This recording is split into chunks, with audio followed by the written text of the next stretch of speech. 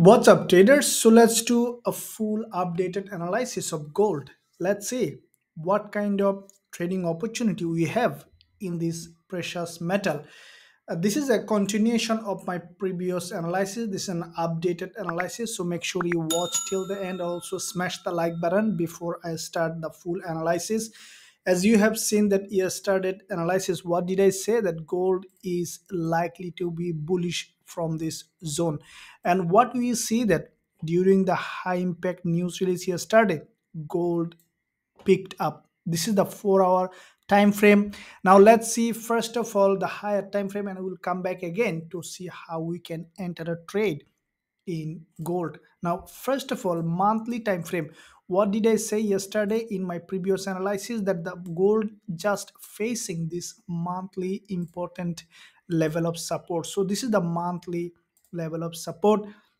And we see as usual the price have been bounced from this support. If you see in the past this level acted here as, a strong level of resistance. Here you see there are long we do monthly candle back to back return from this level. So when you see this kind of giant candle back to back close and opening from the same place this level can be a significant level for support or resistance. So we see this time this level acted as a support and we can expect from here gold to go back again to the level of resistance.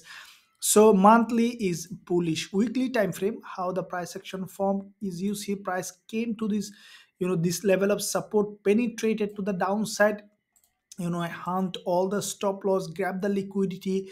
Now we see that gold again started to move to the upside. Let's see daily. Now daily we saw that previous day there has been a precious pin bar here. So this is a textbook pin bar.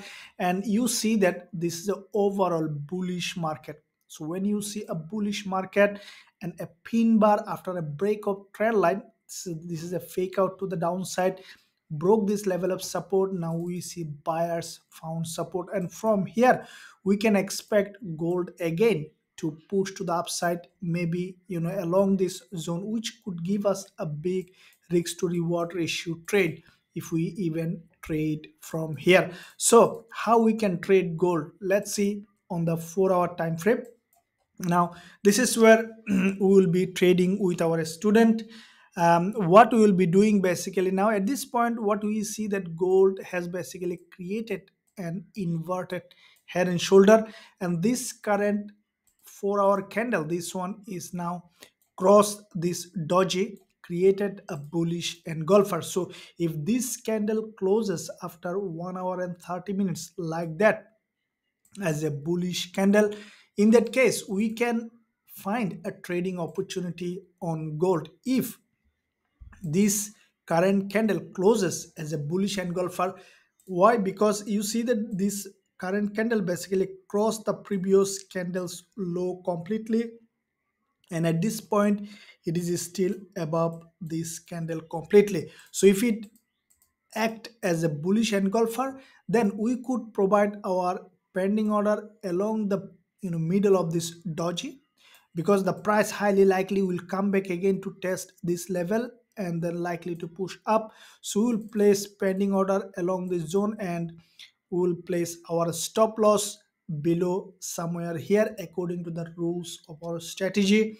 And then we'll target at least one to two or more risk to reward ratio for this push to the upside for gold. Now if you find value in this analysis then smash the like button for me.